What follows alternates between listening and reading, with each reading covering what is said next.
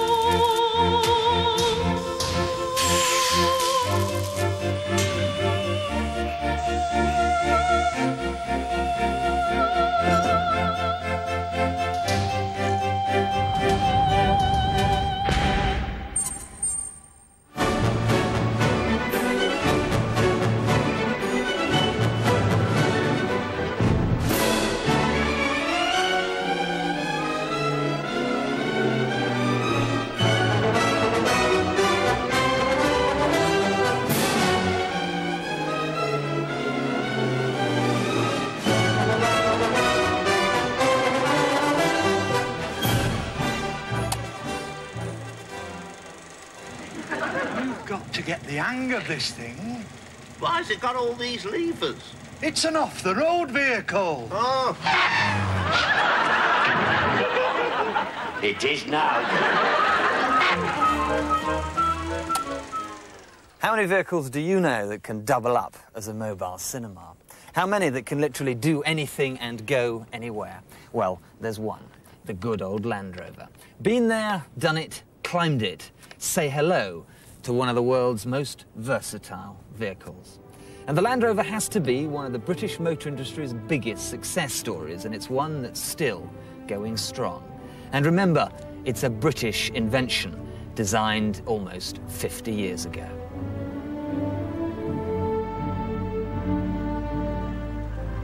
It's one of those vehicles that people are proud to be seen in. It's very British. You sort of feel, I can plough through anything in this. It's a beautiful vehicle. I think most military vehicles have a kind of beauty um, to them, which is a great irony since they, they do things which are so ghastly. Um, but rugged vehicles uh, I just find attractive. Maybe it's because I'm so unrugged myself.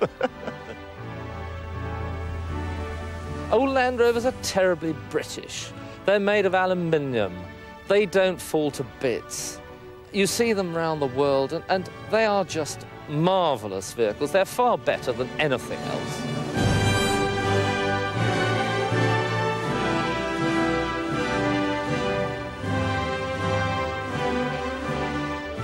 And once you've ridden in one, it's an unforgettable experience. My first recollection was Uncle Bert taking me and his daughter Amanda to school every morning in his, and that was a very old Land Rover.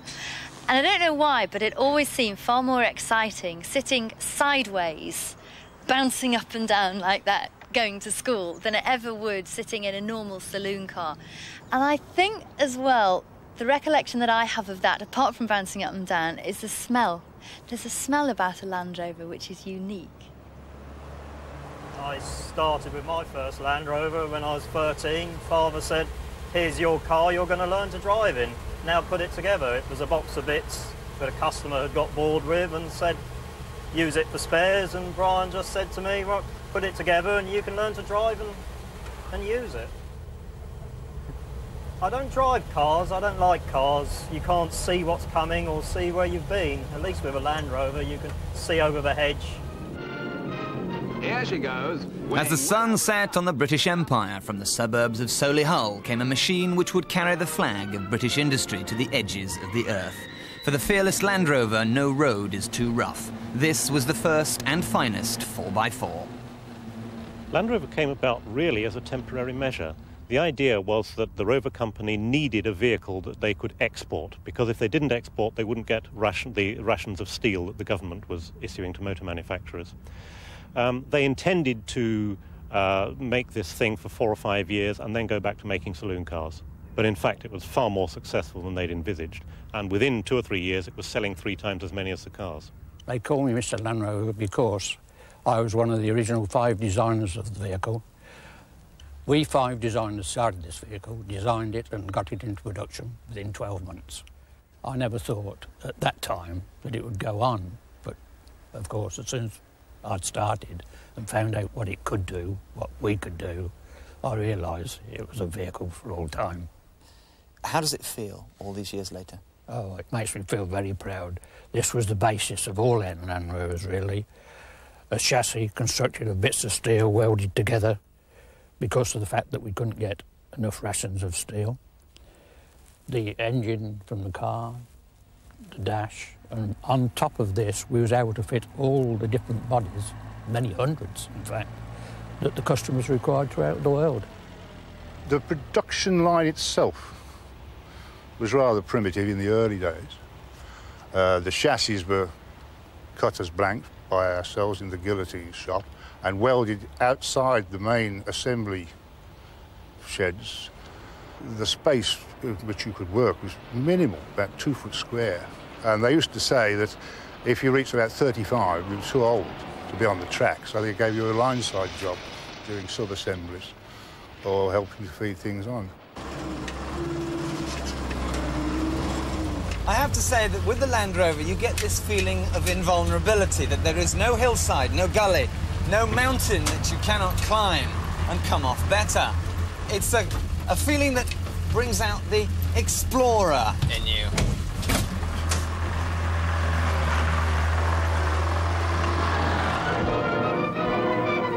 And Cambridge Far Eastern Expedition set up a new record. Normal 86-inch wheelbase Land Rover station wagons, painted dark blue and light blue in friendly rivalry. The Jeep ceased production after the war. Rovers brought out this, this vehicle, which I understand they didn't know at the time how successful it was going to be. And it has evolved into the most magnificent four-wheel drive cross-country vehicle ever built. Not all the bridges have stood the test of time on this unused road. You have to keep driving when you're in the water in order to prevent the water going up the exhaust pipe. And the other thing we realized was not to get water all over the electrics in, in the car, and we used to do that by disconnecting the fan belt. We met a tea planter who said, uh, do come and stay the night with us, which we were extremely of the invitation. And he said, oh, just follow me. The road's a bit tricky, but I expect you can manage. And we said, oh, yes, we're expert at that sort of thing. It'll be a doddle. And eventually we came to a suspension bridge which had a notice on it which said uh, only suitable for nine pack horses and had been built, I think, in 1909. And when we got to the middle and the depression of the uh, deck was so great, I thought the end had come. There was a ravine uh, several hundred feet deep below me and the road rising in front of me, and I wondered whether I'd actually get up the slope. And that ability to climb slopes has created a new cult off-roading. Now, this section up through here looks pretty impassable. I don't know if you can get a shot of it, Baz. Should really test the beast through there. There she blows, Baz. There she blows indeed. We've got eight miles of sweat and terror through there. There's a couple of mean gullies, a bitch of a hill, and what could only be described as the mother of all ditches. no problems for us then, eh, sir? It is sorted. It's gripped. Let's off-road. Baz, Baz, stand back, you pillock. We'll flatten you.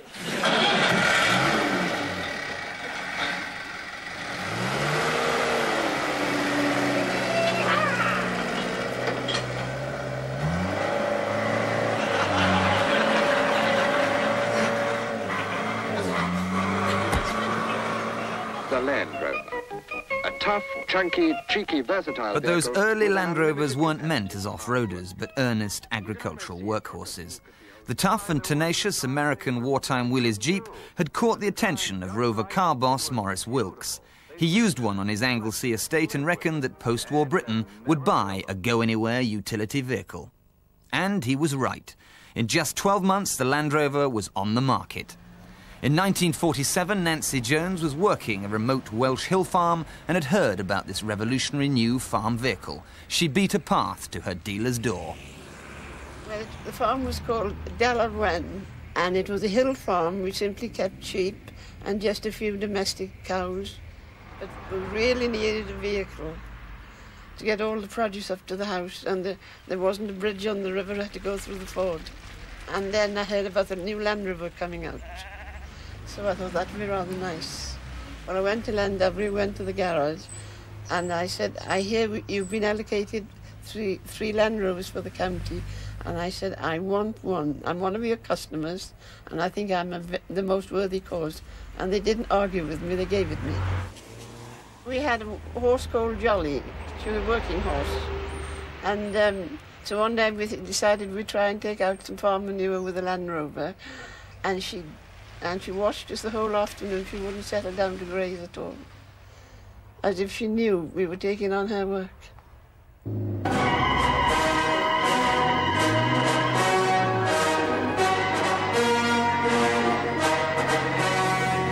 But the Land Rover had yet another string to its bow.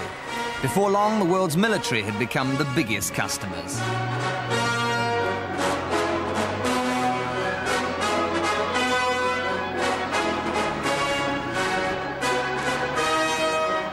From troop carrier to amphibious vehicle to radio van, Land Rovers would be conscripted into virtually every theatre of war, bought by no less than 147 armies and police forces.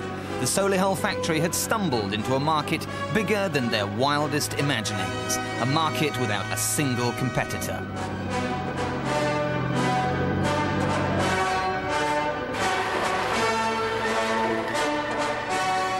And the Land Rover's national service helped its civilian development. Tested to destruction, made bigger, better, stronger, and even more versatile.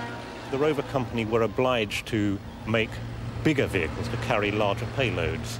Uh, they were obliged to provide a diesel engine as an alternative to the petrol engine, and in due course, more powerful engines. All these factors, I think, were brought about by market forces. It was the customers demanding change, and Land Rover responded to that. But some things never changed. That famous boxy shape was far too good to muck about with. Change uh, didn't happen very often. And when it did, it seemed to take a lot of people by surprise that they- they've got to do something about it. In the styling department, we did a comprehensive exercise on a, uh, a vehicle that got itself known as, named as uh, 111. And it didn't really get any further than reasonably large-scale drawings and proposals. Uh, for the very simple reason that there was no real call for a new Land Rover. They're quite happy with the one they were producing. It wasn't as though we were sort of getting very dated. It was still selling very, very well. And that's a hard nut to crack if you want to propose something new.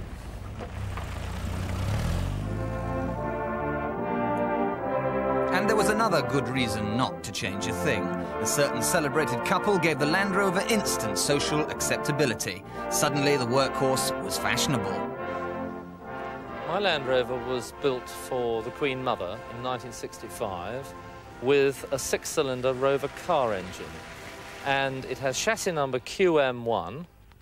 Um, we understand that Prince Philip went to Africa and saw other vehicles with six-cylinder engines in, came back to England and said to Land Rover, I want a six-cylinder. It's got lovely deluxe front seats, which were fitted in, in fact, in 1967. Um, it's got a wireless in the front, uh, uh, an old-fashioned wireless, with speakers in the middle and at the back. So obviously the racing results could uh, could be listened to by everybody. And it's a 10-seater version and not a 12-seater version, which is quite rare. And for that very special customer, Land Rover would go to enormous lengths to fit those little touches that mean so much. If one is fond of carrying one's pets around with one, it's surprising what one might need, like an interior rear window wiper for the condensation from the corgi's breath. Isn't that right, Clarence?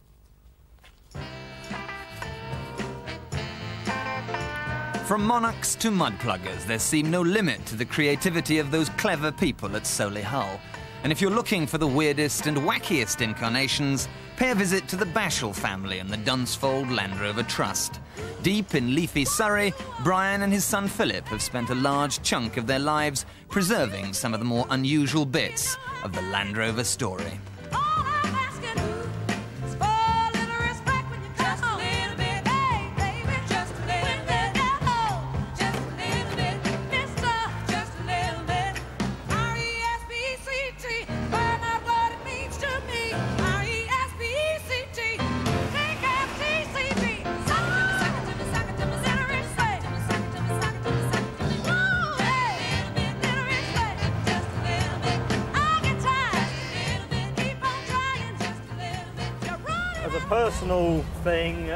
Like to save pre-production or development vehicles because the main manufacturers, unfortunately, don't have a collecting policy for the prototypes or, or development vehicles. They tend to collect the first or the last of every production run, which is great, fine, but nobody seems to collect the in-between models, which is where we like to step in. Collector or not, they're addictive creatures. You don't just own a Land Rover, you become part of it. I, I don't like to see a nice vehicle rot, and I am watching it rot. Um, I won't let it completely rot. Suddenly, you know, the last gas, I'll suddenly you know, decide to, to, to have it done. But it, it's because of our early years. I mean, there's great sentimental value um, to us because we had such fun in it. It was grey. You can, you can still see a little bit of grey on the, on, on the corner. But uh, we, we, actually just bought a, a, a, tin of Dulux and a couple of rushes and we painted it white. I don't know why we decided to paint it white. We should have painted it camouflage colours, really, so that it wouldn't stick out in the countryside. Um, but we decided to paint it white. Young and foolish. oh dear, oh dear, oh dear. We came over the Alps and I forgot to check the, uh, the water and the, the, what do you call it, wasn't working, the temperature gauge wasn't working. And uh, we just forgot to, to, to, check the water. And suddenly steam came belching out of it and uh, we ground to a halt. And uh, fortunately there was a garage nearby and a, a little French workshop and this guy came along and looked at it and said, Oh, oh il faut démonter tout ça we have to take it all to pieces. And uh, he spent a day on it, put us back together, and off we went. That's the great thing about the Land Rover. You could always find something to do. I would say that it is one of the greatest success stories of the British manufacturing world. It's been now from 1947 until the present time, still running, still building nearly as many as we ever did. It shows that it is what we thought it was. A success story without end. With sales approaching 2 million, Land Rovers have become a national institution. They've been imitated but never bettered, and even formed the basis for yet another Solihull legend, the sharp-suited Range Rover. So next time you see one of the scores of modern 4x4s, just pause for thought and remember that it was all started by that little green machine from Birmingham. In this job, you're apt to get a weeny bit blasé, a bit cynical about cars. But in the last 10 days, I must have driven what? A dozen Land Rovers, all different shapes and sizes, and I've come away mightily impressed. So guess what I've just bought?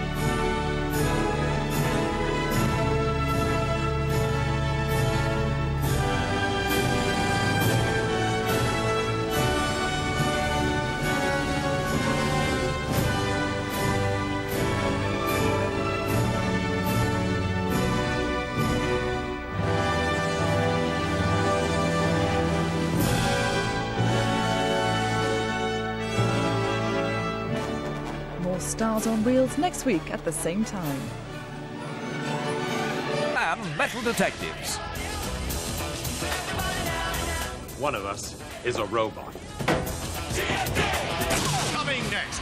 The life and times of Colin Corleone. Also, Channel Zapping Junkies. Tune in to BBC Two in half an hour with the Glam Metal Detectives. Crab sticks are the Saveloy of the underwater world. Now on BBC Two, the hottest things on four wheels.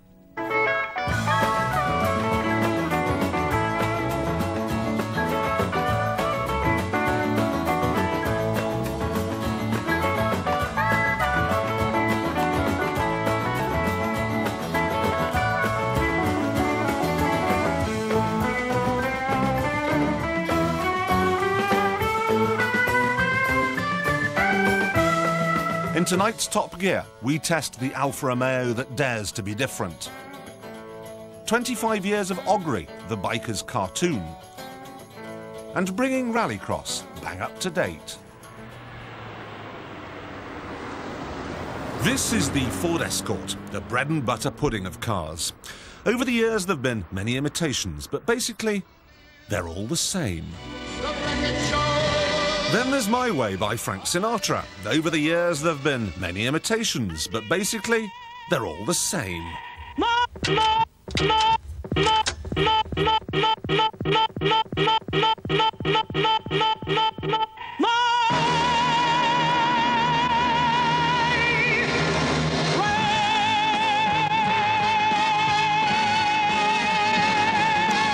There's always someone out there, though, who can copy the original, but in such a way that it's barely recognisable. This is still my way, but Sid Vicious has given us something different, something wild. And this is still a three-door hatchback, but Alfa Romeo has given us something different, something really wild.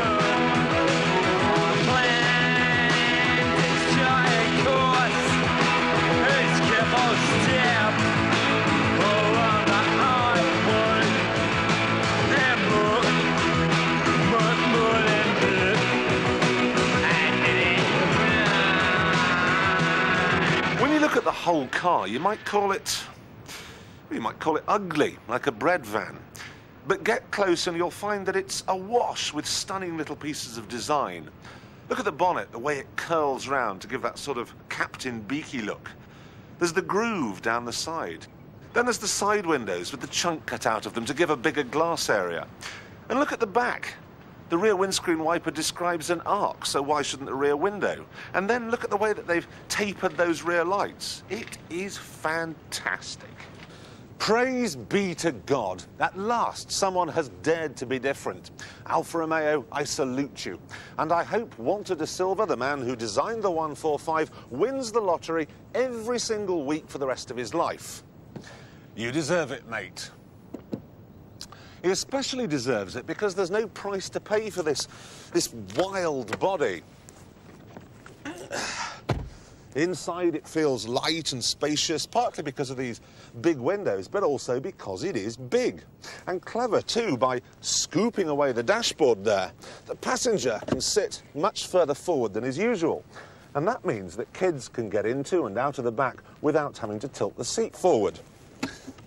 And then there's the driving position. For once in an Italian car, you don't have to be shaped like an ape to get comfortable. Now, you might be looking at the dash and thinking, yes, I can see the engine immobiliser and the electric windows and the airbag and the stereo and so on, but that plastic looks awfully cheap. And I'd have to agree, it does, in a £20,000 car. But this 145 costs less than £11,000. That is especially good value for money when you remember what the Alfa Romeo badge actually stands for.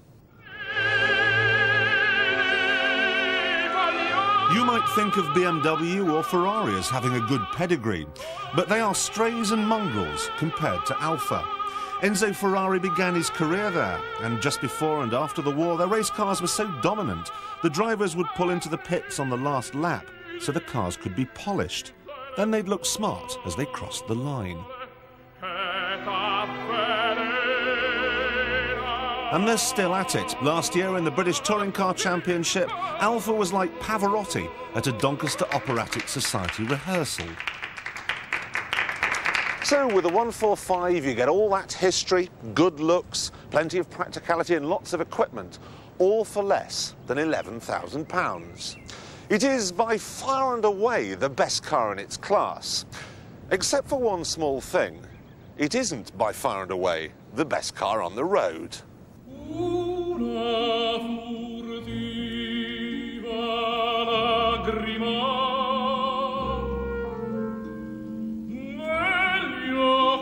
The trouble is that under the skin, it's a mishmash.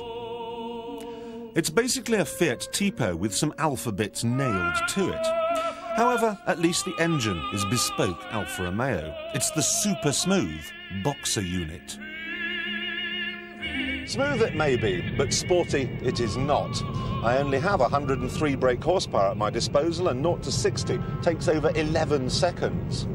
It's noisy too, and there's no point going for the more expensive 1.7 litre 16 valve version, because that still isn't what you'd call fast, and it is even noisier.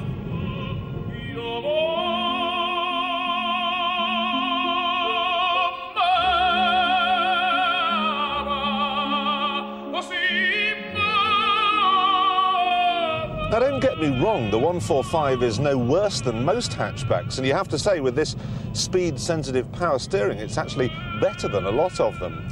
It's just that because it's an Alfa Romeo, because of this badge, I was expecting bit more stuff, a bit more pizzazz, a bit more spunk. I was also disappointed to see the other day that some big Alfa 164s have been recalled because of rust. I mean, rust. It makes all their claims about bulletproof reliability for this new car a bit shallow. Couple that to average performance and too much noise, and you might imagine the 145 is destined for the same fate as Sid Vicious. But when all is said and done, the 145 is the little hatchback that I'd choose. I mean, let's face it, who needs blood and guts performance from an urban runaround that spends most of its life stuck in a traffic jam? And if you are worried about this reliability question, I have a solution. When you go to buy the car, simply say to the salesman, if it goes wrong within the next three years, can I come round to your house and burn it down? Make him put his house where his mouth is.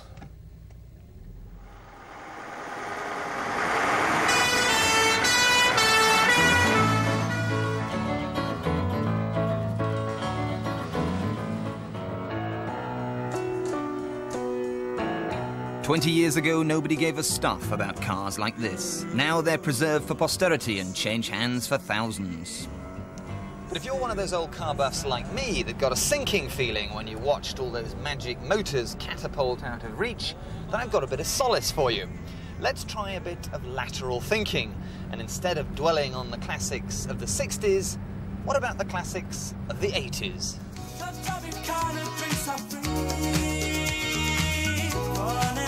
In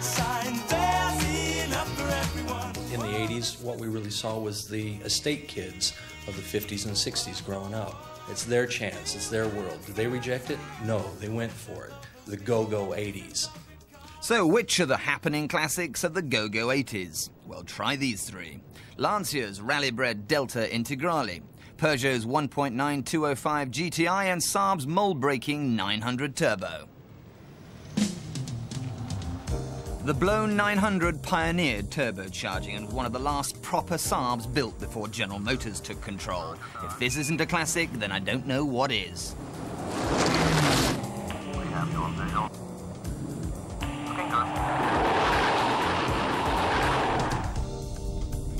The 900 Turbo has an awful lot to recommend it as a classic choice because it's built to take on Sweden. They really are wonderfully put together. I had a, a 900 Turbo which had done 195,000 miles and was as fresh as a daisy. Prices of these things start at about two grand. They're not that expensive to run. They really do go on and on. So long-term ownership is a very viable proposition.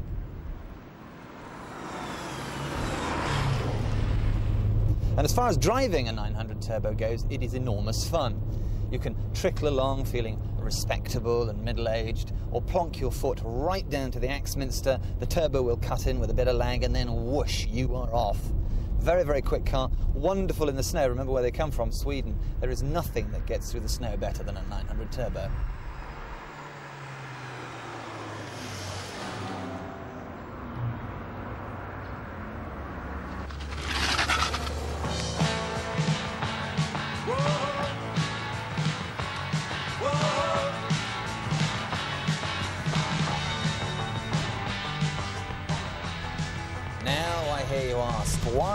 Peugeot 205 being hailed as a classic when it was made in such prodigious numbers?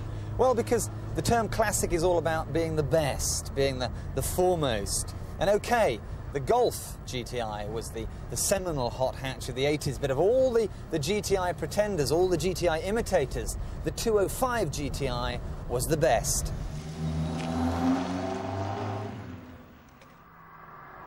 You'd have to go all the way back to the Mini Cooper to find a car that turned in so crisply, a car that handled so wonderfully. And the 80s were all about super minis, all about tiny cars. So Peugeot took their, their class-beating 205 and they dropped this huge 1.9 litre engine. They lit the blue touch paper, they stood back, and they watched. It was so quick it should have had a government health warning. It's every inch a classic. Its Pininfarina styling was admired by 80s design worshippers who holidayed in Florence and dined at Japanese sushi restaurants. Best news is Hot 205 start from as little as two grand. They have loose change running costs, and since good design is timeless, this is one hot hatch that won't go down the slippery slope of the XR3.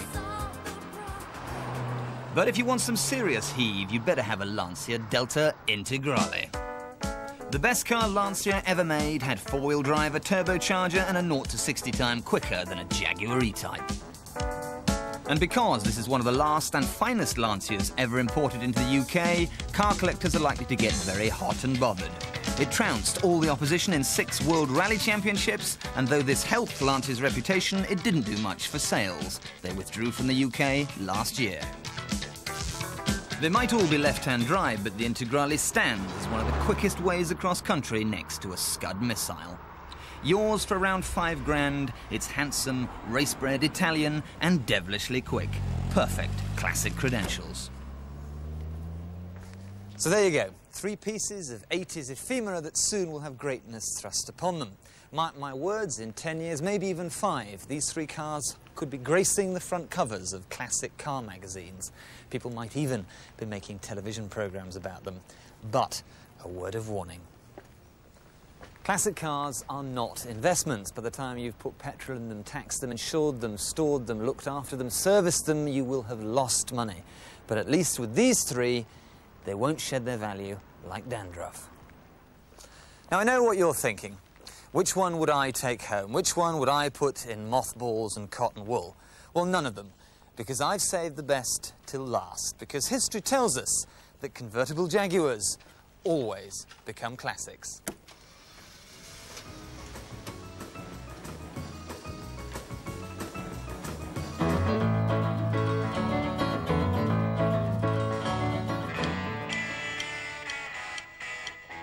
Seventies heroes.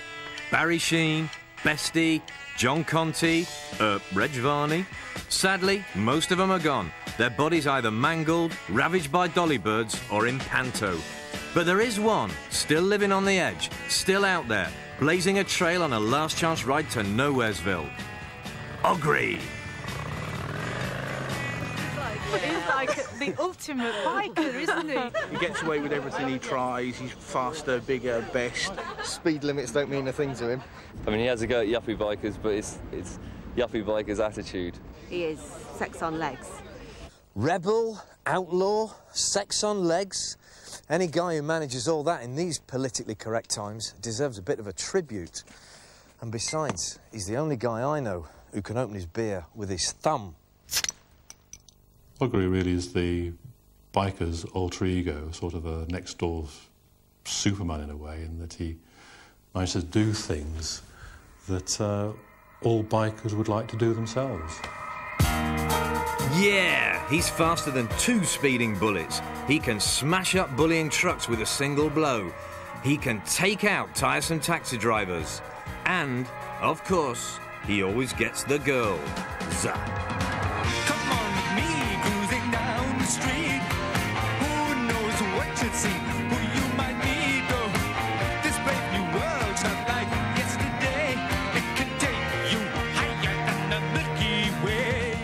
Started when I was at college and I first bought a bike. In fact, the name Ogri it fell off the end of my pen in a sketchbook one day. Um, and it was when I was reading Marvel Comics and I thought of actually developing a, a character which would actually take the piss out of Marvel Comics. Ogri turned from a student doodle into a man with a mission. And then, in 1973, he appeared in print for the first time and struck a blow for biker power.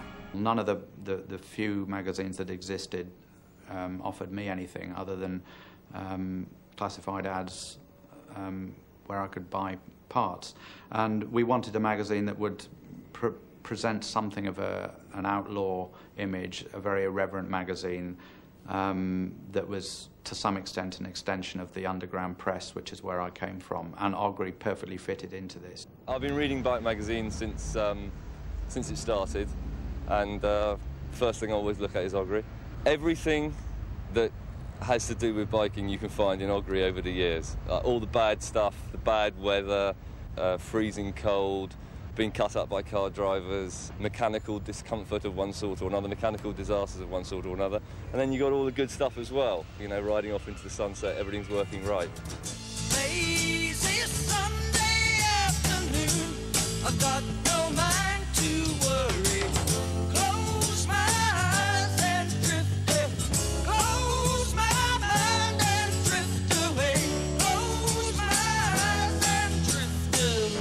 Two characters. There's, there's Ogri and his friend Malcolm. He's more like how bikers really are when they start out. Knows nothing about bikes, gets things wrong. Like he'll, he'll drill, he thinks, right, I'm going to really lighten this bike up. So he gets the drill out and he drills hole in absolutely everything, even down to the bar, you know, the, um, the your, levers for for your brake and things. Of course, he always does it too much so that this thing looks like a piece of cheese with all these little holes in it. It looks like it's got woodworm. And of course, it comes charging to the lights, puts the brakes on, and the thing snaps off. Sadly, Malcolm, his sidekick, is really what most of us are like. He gets it wrong time in, time out. He falls off, he gets hurt, but we'd love to be Ogri, but none of us ever will be. In his cartoon world, Ogri can tackle all the biker's enemies. He takes on a snarling pack of angry, biker-baiting commuters and wins. He takes on Jobsworth traffic cops and wins. Yep, for nearly 25 years, his brand of biker law has given every Ogri fan their favourite moment. When he borrowed his uncle's outfit, an old A10, BSA A10 outfit, go down to Brands Hatch, decides he's going to enter a sidecar race. There's one great frame in there where they, where they come flying around a bend, sidecar wheels up in the air here, he's leaning out of the sidecar, trying to keep it down. There's a girl leaning over the barrier, and as he passes, he just goes, hello, darling.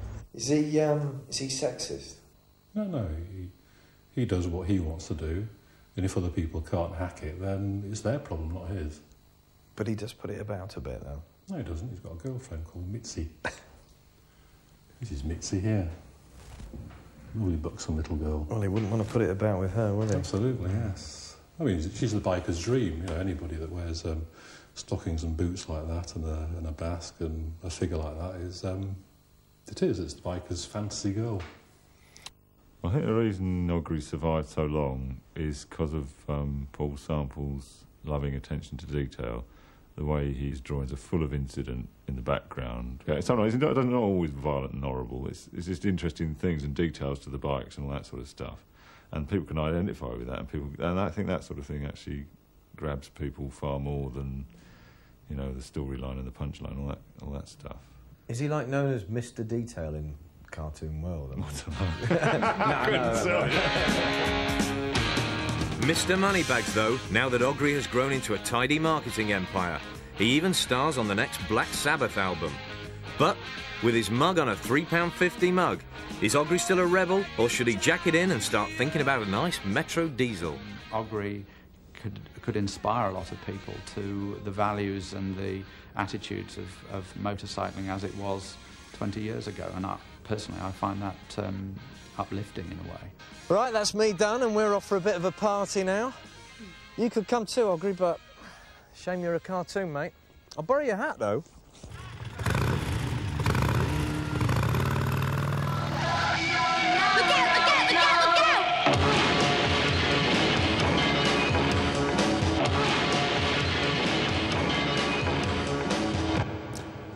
My mother used to have a beetle back in the 60s, but even though it was so orange it made an orange look like a lemon, it still wasn't as distinctive as this special comic relief beetle, which you have a chance to win in our special Top Gear comic relief competition.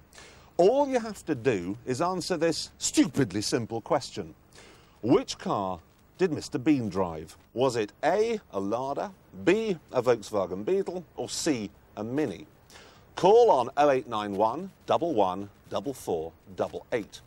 The winner will be selected at random from all the correct entries, and the net proceeds of all the calls will go to Comic Relief.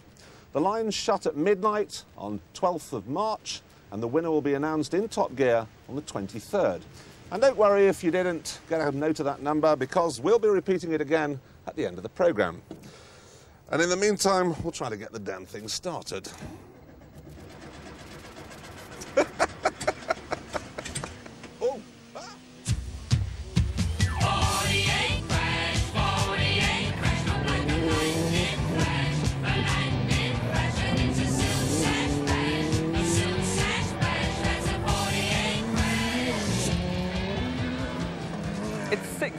since I last had a crack at Rallycross when I drove a Metro 6R4 just like this one here at Brands Hatch.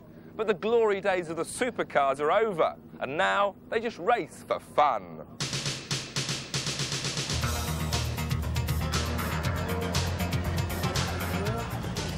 Barred from rallying because they simply became too fast. Group B cars like the 6R4 and Ford RS200 have now also been dropped from international rallycross.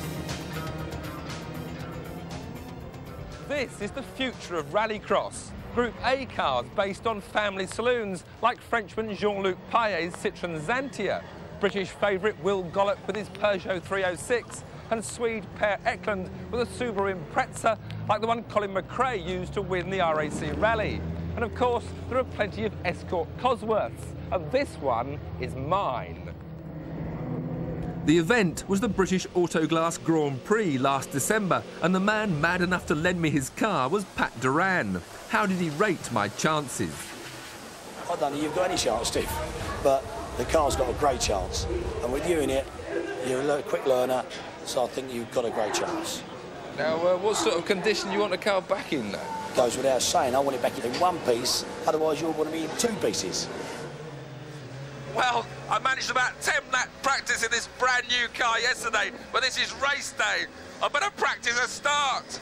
Now hold it, 7,000 rev,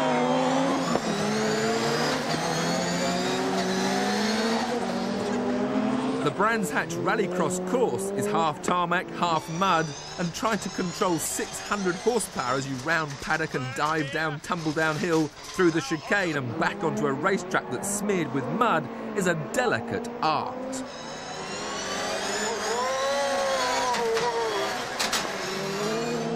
While I struggled to learn the knack of getting the best out of the Ford in the limited time available, Ford's rallycross superstar Martin Schanche tried to convince me that it was at least an easier proposition than the old rear-engined RS200.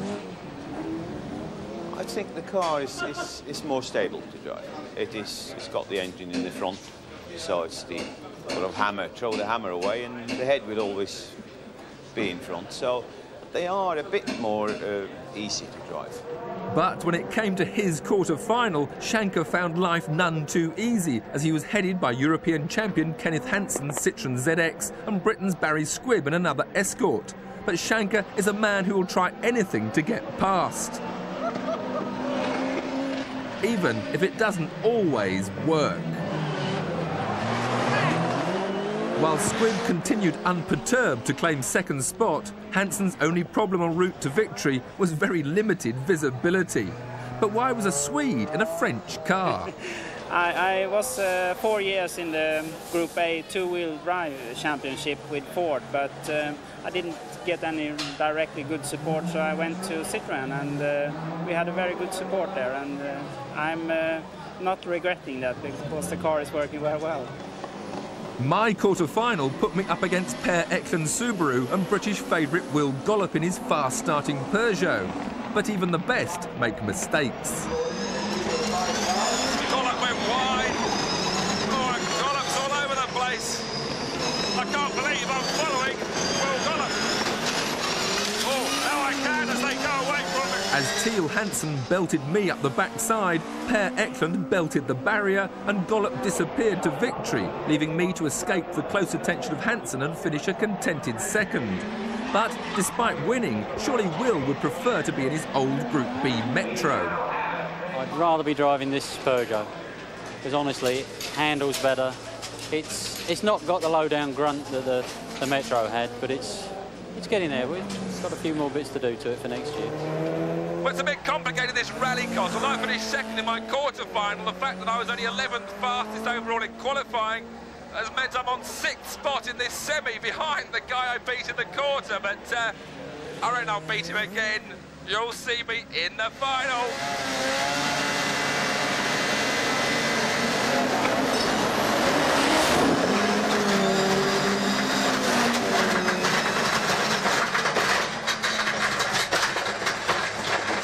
And the transmission